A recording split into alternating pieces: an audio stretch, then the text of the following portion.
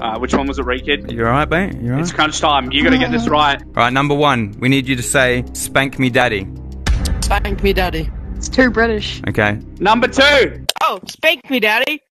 Do you remember what he looked like? He was wearing an overall with one of his things not on. Scorpion and Sassy leave. Look me in the eyes and tell me you didn't me. Do it! I promise! Make your decision, Ree Kid. Up, up. Oh,